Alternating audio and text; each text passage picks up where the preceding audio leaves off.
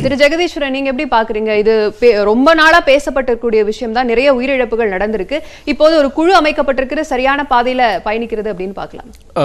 நீங்கள் இந்த கேள்வி மறுபடியும் கேட்டே இருந்தீங்க. இந்த வழக்கு குறித்து கேள்வி கேட்டீங்க. நீங்கள் வந்து முதல்ல இந்த அவசர சட்டம் நவம்பர் இருபத்தி ஒன்று ரெண்டாயிரத்தி இருபதுல இந்த அவசர சட்டம் வருது. அப்புறம் அரசு இதில் பிப்ரவரி மாதம் வெளியே வெளியே வருது. அப்புறம் ஆட்சி மாறிடுச்சு. இந்த வழக்கு நடக்குது. அப்போ வந்து இந்த வழக்கு நடந்த பின் அந்த வழக்கு தோற்ற உடனேயே திமுக அதிமுக வாதங்கள் என்ன ஏற்பட்டுச்சுன்னா இப்போ சொ- அவர் மாதிரி திமுக தரப்பில் நீங்கள் எழுதின சட்டம் ரொம்ப மோசமாக சட்டம் இருந்துச்சு. நீ பேரளவில் ஒரு சட்டம் ஏதோ எழுதணும்னு அவசர அவசரமாக எழுதுனீங்க அப்படிங்கிற.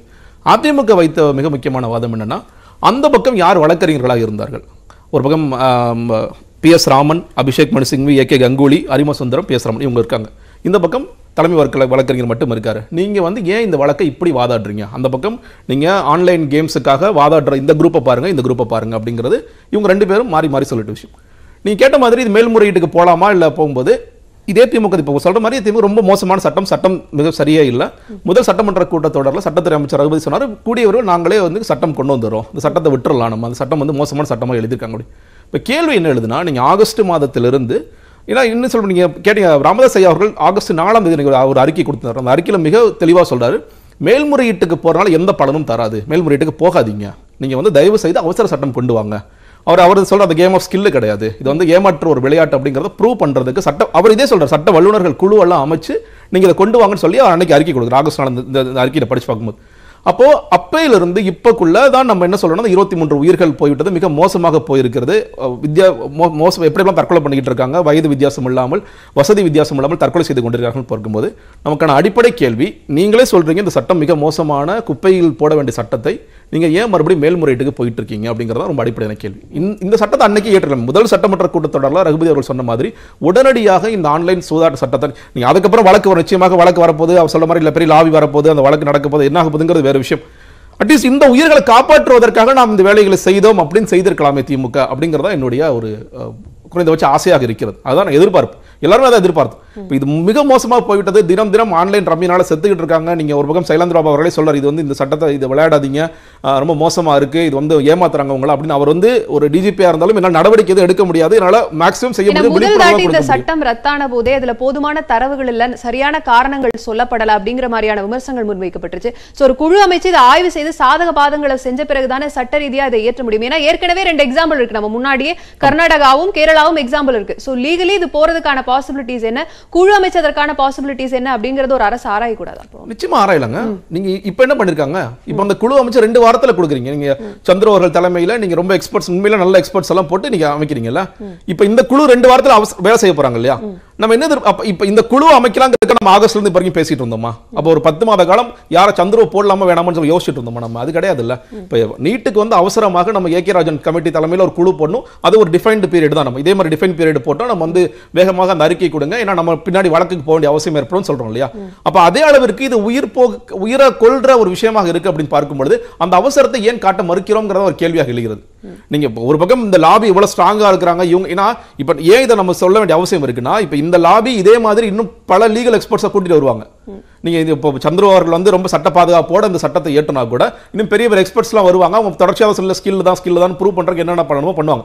அன்னைக்கு என்ன வார்த்தை முன்வைக்கிறாங்க ஜல்லிக்கட்டில் கூட தான் இருபது உயிர் போகுது அதுக்கு ஜல்லிக்கட்டை தடை பண்ணிடலாமா? அவங்க அங்கே இழுக்கிறாங்க. அதுதான் அந்த அன்னைக்கு வாதமாக வைக்கப்பட்டது. அப்ப இதே மாதிரி இன்னும் பல வாதங்களையும் அவர்கள் எடுத்து வைப்பார்கள். அந்த லாயர்ஸ் எடுத்து வைப்பாங்க. அப்ப அந்த அளவிற்கு நமக்கு ஸ்கில்ஃபுல்லாக வேணும்னா இப்ப நீங்க போட்டிருக்கீங்க இந்த வேலையை நிச்சயமாக ஆகஸ்ட் மாதம் நம்ம செய்திருக்க முடியும். அந்த கேஸ் தோத்த உடனே ஓகே அந்த கேஸ் தோத்துட்டோம். நம்ம மேல்முறையீடு போல நம்ம வந்து ஏன்னா அந்த மேல்முறையீடு போற அளவுக்கு அந்த சட்டம் ஒர்த்தே இல்ல ரொம்ப மோசமான சட்டமாக இருக்கிறது. நாம் இதை செய்ய போகிறோம். அன்றே இந்த முடிவை எடுத்திருக்கலாம். இவ்வளவு காலதாமதம் என்பது அவசியமற்றது. சரி. அதான் சொல்றேன் முதல் சுற்றுப்பார்வையை நான் திரு கிட்ட வாங்கிட்டு வரேன். பிரகாஷ் நீங்க எப்படி பாக்குறீங்க அதாவது இந்த சட்டம் அப்படிங்கிறது காலதாமதமானது ஒண்ணு அப்படிங்கிற விமர்சனம் எழுந்திருக்கிறது. ஆனா சரியான நேரத்துல இது எடுக்கப்பட்டிருக்கிறது. ஏன்னா இதற்கு பல வகையில இதை ஆராயணும். ஆராய்ந்த பிறகுதான் இந்த முடிவை எடுக்க முடியும். அதன் அடிப்படையில தான் ஓய்வு பெற்ற நீதியரசர் தலைமையில ஒரு குழு அமைக்கப்பட்டிருக்கு அப்படிங்கிற ரெண்டு விஷயங்கள் இருக்கு. நீங்க எப்படி நான் ஜெகதீஸ்வரன் சாரோட நான் பெரிய அளவு ஒத்து போகிறேன் ஏன்னா நீங்கள் வந்து சட்டத்தை ஏற்றினாலும் next it is it will be challenge in the court இப்போ நீங்கள் பேசும்போது எல்லாரும் சொ வந்த ஒரு வாதத்தில் lottery is a game of chance ஆனால் தமிழ்நாட்டில் அதை தடை பண்ணியிருக்காங்க. குதிரை ரேஸ் தமிழ்நாட்டில் வந்து தடை பண்ணியிருக்காங்க. அதே மாதிரி ஆன்லைன் விளை இந்த ரம்மியை ஏன் ஒரு பாலிசி டெசிஷனாக எடுத்து it is a state government policy we will not allow it அப்படின்னு வரும்போது நீதிமன்றத்தோட ரோல் என்னவாக இருக்கும்? அதை வந்து சட்டத்துறை வல்லுநர்கள் தான் விளக்கணும். If it becomes a policy decision நாங்கள் இதை அலோவ் பண்ண மாட்டோம். நாங்கள் எங்கள் ஊரில் ஏற்கனவே குதிரை ரேஸ் அலோவ் பண்ணதில்லை லாட்ரியும் அலோவ் பண்ணதில்லை ஆன்லைனில் இந்த மாதிரி வருது.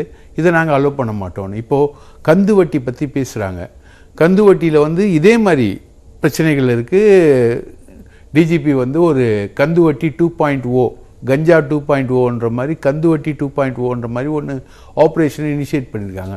கந்து வட்டி இப்போ மேஜராக நடக்கிறது வெளியிலலாம் கிடையாது ஆன்லைனில் இல்ல அத நீங்க சொல்ற அந்த வாதத்திலே சொல்றீங்க. இதை வந்து சான்ஸ் அப்படின்னு பார்க்காம ஸ்கில் அப்படிங்கிற விஷயத்த பாக்குறதுனால இதை ப்ரூவ் பண்றதுல டெக்னிக்காலிட்டி இஷ்யூஸ் இருக்கு அப்படிங்கிற விஷயத்த சொல்றாங்க. அதனால இது சட்ட ரீதியா அணுகுனா கூட மேல்முறையீடு போனால இந்த வழக்கு நிக்குமா ரத்தாகுமா அப்படிங்கிற கேள்வி இருக்கு. சோ அவசர சட்டம் அப்படிங்கிற வாய்ப்பை நோக்கி இப்போது நகர்ந்திருக்கிறார்கள் இது போதுமான நடவடிக்கை தானே?